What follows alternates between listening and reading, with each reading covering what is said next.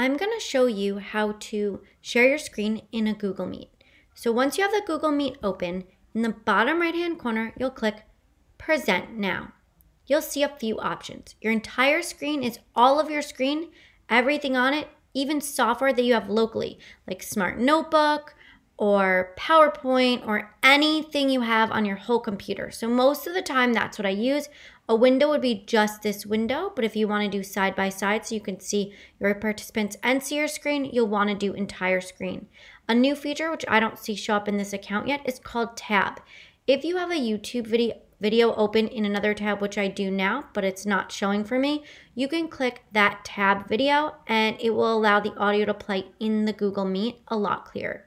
So I'm gonna click your entire screen. I'm gonna share my entire screen and everything on it. Then it will show you a picture of your screen. Click on that click picture and click share. Now, everyone in your Google Meet will see your screen. And it looks like it's another participant, but it's really just your presentation.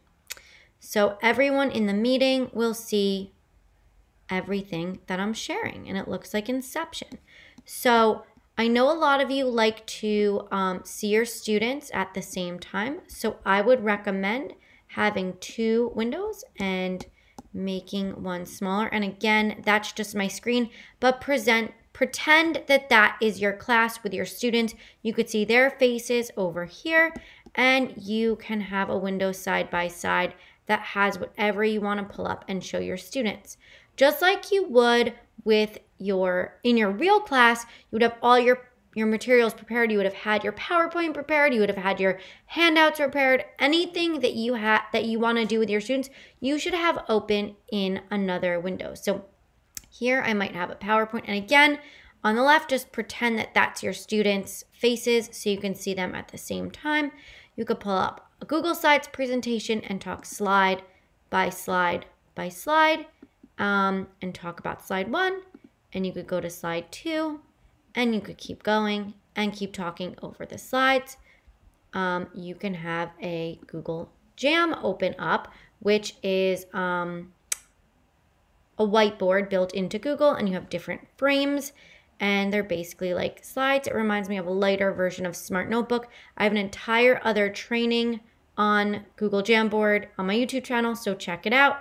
Um, but you can go through the slides and you can even collaborate with students on these slides by either sharing it with that particular student in the top right or assigning it through Google Classroom. And again, you can go through any of these with your students on the Google Meet and see their face on the left. Um, anything you do will be shared with them. And when you're done sharing your screen, you click stop sharing and you could go back to your students and make that bigger. When you are ready to stop sharing, oh, I stopped sharing, sorry. I just clicked stop sharing. I should have showed you that. But it would say, um, you are presenting. I'll show you again. We'll walk through it again. I'm going to click present now, your entire screen.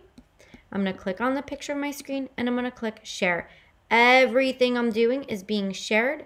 And when I'm ready to stop sharing, I would either that and I can click stop presenting. So either that stop presenting or this stop sharing brings me back to my students. And that is how you share your screen in a Google Meet.